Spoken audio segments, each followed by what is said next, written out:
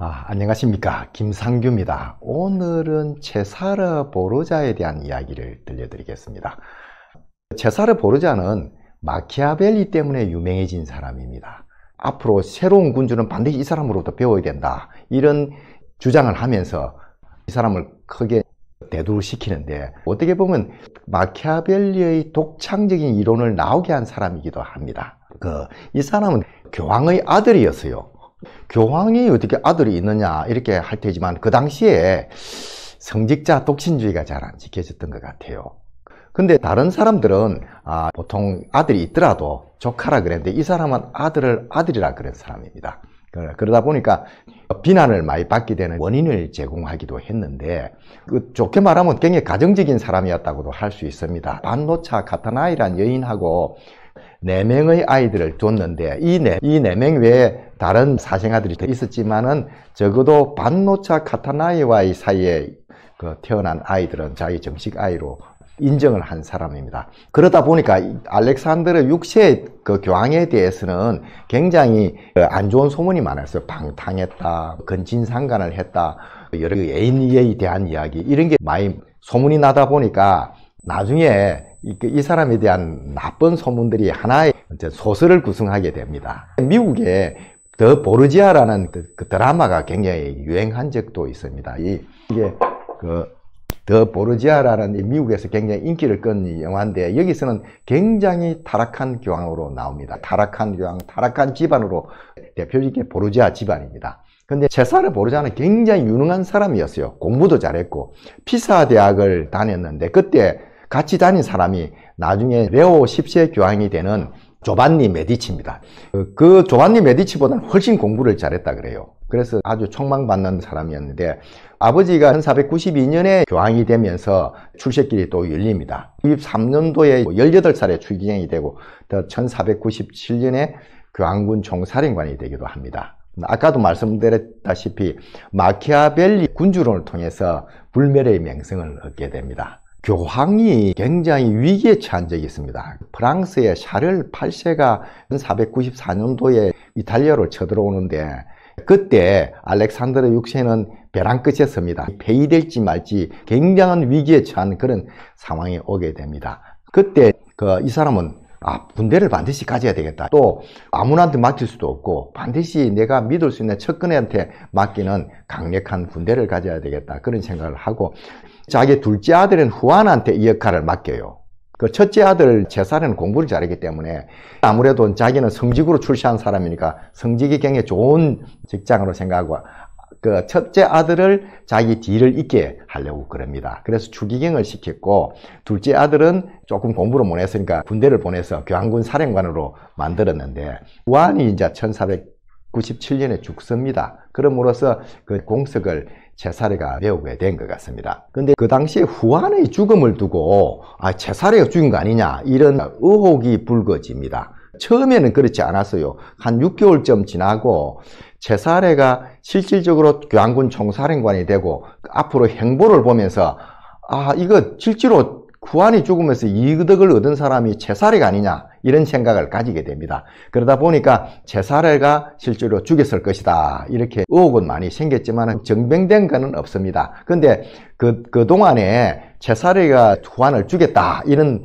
그 논리를 삼은 거는 황당한 것도 많아요. 뭐냐면 그 제수진 산차를 두고 뭐 후한하고 삼각관계였다. 아니면 또 진짜 여동생을 두고 삼각관계였다. 아마 아까 말한 더 보르지아에는 그런 내용을 다뤘을 것 같아요. 또 교황이 후한을 너무 총애했다. 질투 이런 게 작용했다는데 제가 보기에 이런 거는 아니었던 것 같고 또 사건 직후에 교황이 내가 누가 죽인 줄 안다 이렇게 말했다는 걸 두고 제사례가 아니겠느냐 하겠지만 직후에는 제사례가 의심을 받지를 않았어요. 그러니까 그 당시에는 이실직과라는 그런 뜻에서 그런 말을 했던 것 같은데 5, 6번은 조금 사람들이 아, 그럴듯하다 생각을 했던 것 같아요. 그 음, 어머니 반노차가 교황을 만나고 나서 수사 중단을 지시했는데 수사가 오래 지속되니까 여러 사람들이 불평을 가졌던 것 같습니다. 그런 데 대해서 어머니 반노차는 어차피 죽은 놈을 가지고 너무 이렇게 하는 게 좋지 않다 해서 아마 말을 했던 것 같은데 그것이 제사라가 진짜 범인이기 때문에 어머니가 수사 중단을 요청했다 사람들은 생각합니다. 그리고 그 당시에 부안이 죽고 나서 제살에는 나폴리 왕 대관식에 참여했다가 돌아옵니다. 그때 제사라에게 교황경에 냉담했다. 그래서 의심을 받은 거 아니냐 이런 주장을 하지만은 크게 신빙성이 있는 건 아니었다고 생각이 됩니다. 왜냐하면 이 사람이 제사에 아니라도 죽일 만한 사람이 많았어요. 워낙 방탕하게 살기도 하고 그 제멋대로 살다 보니까 적을 많이 만들었지 않나 생각이 듭니다. 그 제살에는 그 교황군 사령관이 되기 위해서 추기경을 그만둡니다. 근데 그 추기경이란 자리가 굉장히 좋은 자리였어요. 막대한 연봉도 받고 또 맹해로운 자리지 않습니까? 그런 걸 그 이제 그 그만둔다는 게 일반 사람으로는 그 이해가 안 되는 행동이었어요. 그래서 실제로 추기경증을 스스로 그만둔 최초 인물입니다. 우리가 짐작키로는 성직자 아들의 한계를 인식한 게 아니냐. 굉장히 영리한 사람이었기 때문에 자기 신분이 떳떳하지 않다는 걸 잘 알았어요. 다른 사람들이 자기 앞에서 구실거리고 해도 실제로는 경배한다는 걸 잘 알았던 것 같아요. 삼국지의 조조가 사실은 황간의 자손이지 않습니까? 그런 데에 대한 조조도 열등감이 있었던 것 같아요. 그처럼 이 사람도 교황의 성직자의 아들이라는 데 있어서 상당히 열등감을 가지고 자기 능력으로 출시하는 자기 능력을 진정으로 펼칠 수 있는 일을 해보고 싶은 마음이 생겼던 거 아닌가 그런 생각이 듭니다. 또 자기가 사생아 신분이었기 때문에 교황은 될 수 없다고 생각했고 원래 추기경도 사생아는 될 수 없어요. 될 수 없는데 어머니는 사실은 남편이 있는 것처럼 하면서 교황을 맞이함으로써 알렉산드르 6세 교황이 그 구설수에 안 오르게끔 그렇게 방비를 한 여인이었어요. 그 어머니의 형식적인 남편의 그 아버지로 해서 사실은 추기경이 됩니다. 그것도 사실 부끄러운 일이고 그래서 자기는 이 추기경 빨리 그만두고 내 길을 가야 되겠다 이런 생각을 했고 이 길이 내 길이라 생각했는데 그 당시에 신앙의 힘이 줄고 속세의 힘이 커지는 시대였지 않습니까? 그러니까 그, 아 내가 그냥 그 성직자나 이런 거 할 게 아니고 진짜 군주가 돼야 되겠다 이런 생각을 했던 것 같습니다. 실제로 이 사람이 군주를 꿈꿨던 것 같습니다. 교황은 주기경을 그만두니까 이제 그 나폴리 공주환을 며느리로 삼으려 그럽니다. 그 나폴리 정식 공주 카를로타는 왕위 계승권이 있었어요. 그러니까 제사에 결혼을 하면 나중에 그 어떤 상황이 올지 모르지 않습니까? 그때는 그 왕위 계승권을 가지고 나폴리 왕국도 차지할 수 있다. 이런 먼 수를 내다보고 제안을 했던 것 같은데 공주가 이걸 거부를 합니다. 아, 나는 주기경 부인이라는 소리 듣기 싫다. 이런 걸 하는, 그 이야기를 하는 겁니다. 왜냐면 주기경이 부인이 있을 수가 없잖아요. 그러니까 그 주기경 부인이란 말은 주기경 애인이란 말이 되는 거니까 그게 좀 욕스럽게 들렸던 것 같아요. 그리고 자기가 한나라의 정식 공주인데 그런 소리를 듣기 싫은 건 당연하죠. 그렇지만 그 제살의 주기경 사임을 잘 몰랐던 것 같습니다. 그리고 나폴리 왕도 아 왕이 계승과 관련되는 이제 공주와 결혼은 곤란하지 않냐. 우리 집안이 그래도 나름대로 나폴리라는 짱짱한 왕국의 그 집안인데 어떻게 보면 교황의 아들이라는 게 사생 아니냐 그가 어떻게 결혼시키느냐 이런 생각을 가졌던 것 같아요. 그래서 거부를 합니다. 여기에 대해서 교황과 제사르는 대단히 실망해요. 특히 교황은 그 나폴리 왕국에 대해서 굉장히 배신감을 느꼈을 것 같습니다. 왜냐니까 나폴리 왕국은 1494년 샤를 8세가 이탈리아를 침공할 때 점령을 당합니다. 그래서 망합니다 그 망한 왕국을 이 그 알렉산드르 6세가 반 프랑스 동맹을 맺음으로써 프랑스를 내쫓습니다. 그럼으로써 다시 왕국을 찾을 수 있었는데 그 왕국을 다시 찾은 데 대해서 이 자기가 큰 역할을 했다고 생각되는데 자기 요청을 그 부하는 데 대해서 굉장히 실망을 했지 않나 그런 생각이 들고 앞으로 이것이 나폴리에는 엄청난 불행을 초래합니다. 교황이 친프랑스 정책으로 돌아섬으로써 엄청난 왕국이 왔다 갔다 하는 그런 위기에 처하게 됩니다.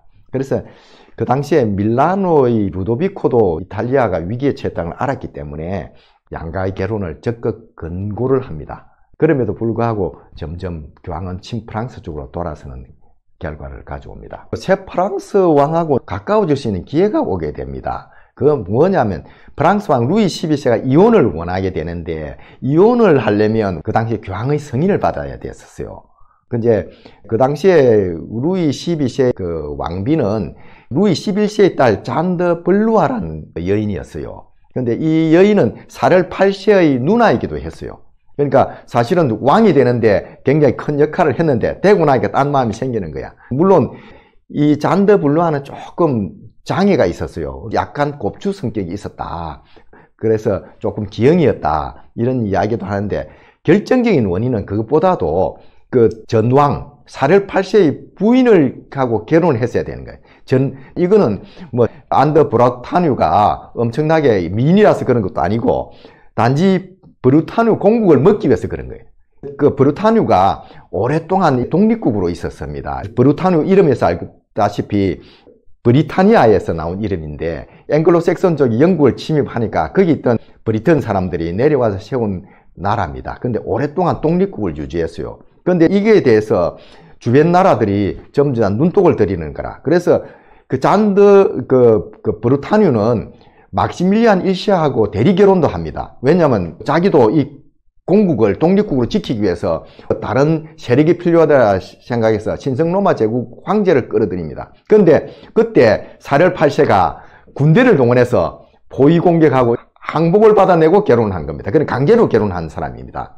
그러니까 후임 왕의 입장에서 볼 때도 브루타뉴를 그냥 놔두면 안 되잖아요. 그러니까 이걸 자기가 먹어야 되겠다 생각하니까 현 왕비한테는 미안하지만은 그 이혼을 하고 그 안더 브루타네하고 결혼을 하려고 그럽니다. 실제로 교황의 성인에 의해서 그 안더 브루타네하고 결혼을 하게 되는데 안더 브루타네는 그러니까 왕비가 두 번째 그런 여인이 되었습니다. 교황은 뭐 이걸 판단하고 그냥 해주면 되는데 요시하고 비슷하게 공짜가 없었던 것 같아요. 그래서 그 채사례에 영지하고 신부감을 요구를 하는데 프랑스 왕이 볼 때는 이 굴러온 호박이라 자기는 그 이혼 승인만 그 받아도 고마운데 또 이놈이 보니까 조금만 잘해주면 이탈리아를 먹을 수 있겠다 생각을 하는 겁니다. 교황을 자기 편으로 끌어들이면 이탈리아에서 그 밀라노 왕국이라든지 나폴리까지도 자기가 먹을 수 있겠다는 그런 생각을 하고 적극적으로 지원합니다. 불감청인 좀 고소원이죠. 그래서 그 발랑티누아 공작위하고 그 나바르의 왕정 사를로트 달버레를 그 배우자로 주선을 하게 됩니다. 사실 1494년 4월 8세 이탈리아 침공 후 그 유럽 정세가 급변합니다. 그 당시에 프랑스 힘에 깜짝 놀래버린 거예요. 프랑스가 힘이 그렇게 셀 줄 몰랐다. 이렇게 생각하게 되니까 그 신성로마 제국 황제 막시밀리안도 깜짝 놀라고. 그래서 그 독일의 합스부르크가 와 스페인 왕과의 결혼 동맹이 맺어집니다. 아들, 딸을 다 결혼시켜버려요. 그만큼 동맹을 강화하면서 프랑스를 견제하는 그런 역할을 합니다. 근데 교황도 사를 8시하고는 사이가 나빴지만 새 교황하고는 사이가 좋아져야 되기 때문에 아까 말한 대로 이혼 승인도 하면서 접근을 시도하게 되고 그 결과 스페인하고 프랑스하고도 협정이 맺어집니다. 그 나폴리 분할 협정입니다. 1500년 11월 달 그라나다 협정이 만들어지는데 거기서 프랑스는 수도 나폴리를 중심으로 가지고 그 밑에 시칠리, 칼라브리아, 이게 그 불리아 이제 요거는 스페인이 가지는 걸로 어, 합의를 봅니다. 이것도 또 교황이 1501년 6월 달에 승인을 하게 됩니다. 그러니까 국제 정세는 참 무서운 거죠. 피도 눈물도 없는 겁니다. 그러니까 아까 나폴리 왕이 굉장히 큰 실수를 한 겁니다. 교황을 자기 편으로 어쨌든 만들어야 되는 거예요. 이탈리아를 단결을 시켜야 외세에 대응할 수 있는데 그 교황이 틀어져 버리니까 모든 게 헝클어져 버린 거예요. 그 이탈리아에 불행이 오게 된 겁니다. 근데 제사레가 완전히 친프랑스 정책으로 돌아가고 나서 자기 여동생 루크레치아가 어, 나폴리 왕자 비셀리에 공하고 결혼을 했는데 그 이 친구가 자기 영지에 살지 않고 바티칸에 와서 살았어요. 살면서 갑자기 프랑스 사람들이 많이 들어오고 이러니까 그 나폴리의 위험성을 알았던 것 같습니다. 그래서 나폴리로 도망갔다가 왕이 여기 올 게 아니고 가서 교황 마음을 돌려야 된다 이래가지고 다시 보냅니다. 그래서 다시 바티칸궁에 와서 살고 있었는데 채사례는 이 친구가 돌아온 데 대해서 굉장히 경계를 했어요. 이 친구가 방해물만 된다. 이제 그 나폴리하고는 우리 계산이 다 끝났는데 여기 와서 괜히 교황이 친프랑스 쪽으로 100% 전환하는데 방해만 된다 생각해서 이 친구를 죽여버립니다.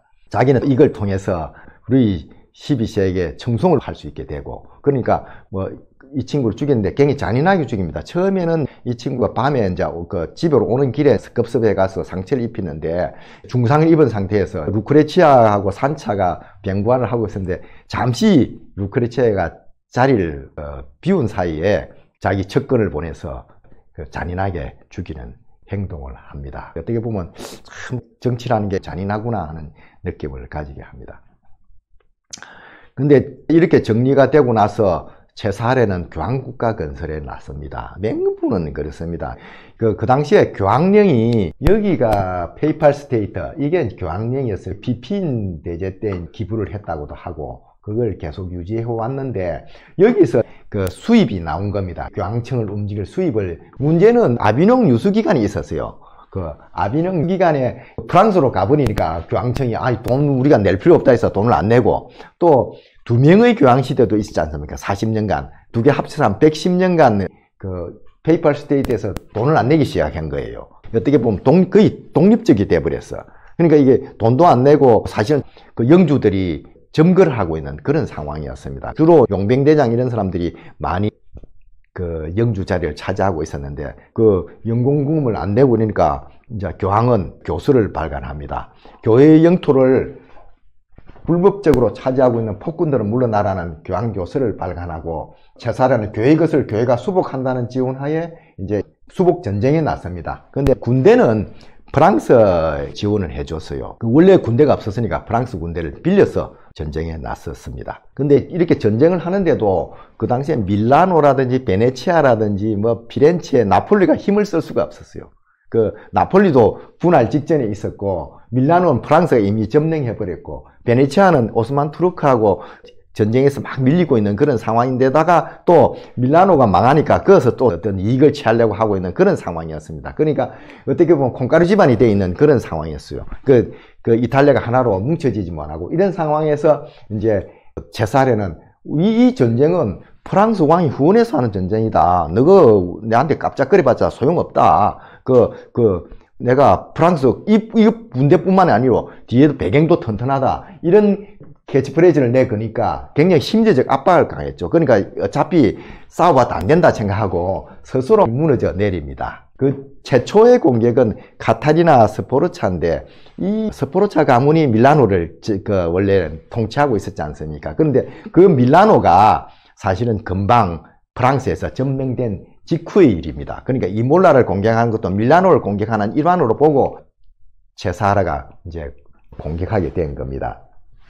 근데 카테리나 스포르차는 여인이면서도 전쟁을 잘하는 그런 당찬 여인이었는데 그럼에도 불구하고 정치는 잘 못했던 것 같습니다. 그래서 그 민심이 이반돼서 그 주민들이 성문을 열어줍니다. 마지막에 자기가 성체 하나로만 지키고 저항을 했지만은 결국은 무너지고 로마로 압송되고 그런 비운을 맞이하게 됩니다. 그리고 다른 소군주들도 아까도 말했다시피 프랑스의 배경, 교황의 그 브랜드 효과 이런 것 때문에 많이 물러나고 그 원인 중에 하나가 민심 위반이었다 그렇게 생각됩니다. 그래서 그 페사로 카멜리노 이런 데 11개 소국을 앞으로 작작 점령해 나갑니다. 그런데 이 점령국 중에서 파엔차와 우르비노를 정복하고 나서는 굉장히 사람들이 갸우뚱하게 됩니다. 왜냐하면 파엔차는 그 영주가 15세 소년이었어요. 근데 15세 소년이 뭐 어떻게 다스리겠어요? 그러니까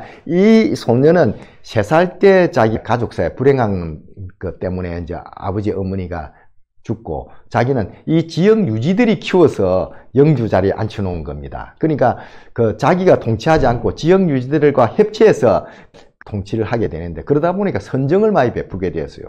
영주에 대해서도 자기들 키우는 사람들이니까 그 자기 자식처럼 생각한 겁니다. 지역 유지들이 그런 그런 상황이니까 단단히 뭉쳐서 채사라가 공격해도 좀처럼 공략이 안 됐어요. 넉 달 이상이 걸렸습니다. 결국은 오래 포위하다 보니까 보급이 끊어지고 항복하게 됐는데 항복 조건이 바로 이 영주 아스트로 만프레디를 자유롭게 해달라 이런 조건하에 이제 어, 항복을 하게 됩니다.